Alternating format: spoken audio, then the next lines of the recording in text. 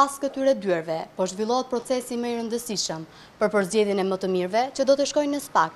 E thënë ndryshe, prokurorinë e re, e cila do të hetojë korrupsionin e zyrtarëve të lartë dhe krimin e organizuar. Në një proces i cili ka nisur që prej të hënës, prokurorët të cilët mendojnë se janë të duhurit për të hetuar korrupsionin, janë përballur me Këshillin e Lartë të Prokurorisë.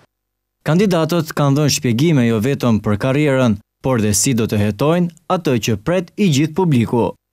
Të mërkurën përpara anëtarëve të Këshillit të Lartë të Prokurorisë kanë qëndruar Ervin Kondili, Elida Kaçkini, Dorina Bejko, Behar Dibra dhe kreu i Prokurorisë së Tiranës Elisabeta Imeraj. Kjo e fundit është pyetur për çështjen e ish-drejtorit të përgjithshëm të burgjeve Artur Zoto, i cili ka marrë pafajësi në apel.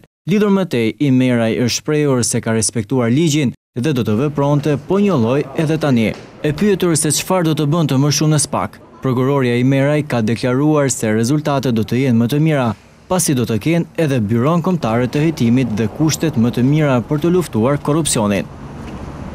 Pyetjet me të cilat janë përballur kandidatët e SPAK lidhen me anën profesionale, shkollimin, mënyrën si janë hetuar emra të njohur të botës së krimit etj. Ky proces pritet të mbarojë të premten, ndërsa hapi i radhës për Këshillin e Lartë të Prokurorisë është renditja ose pikëzimi i kandidatëve. Por që SPAK të ngrihet, duhet pritur përfundimi i procesit të vetingut. Prokurorët Arben Kraja dhe Dritan Prençi janë të vetmit që kanë kaluar zyrtarisht vetingun pa u përballur me një ankimim.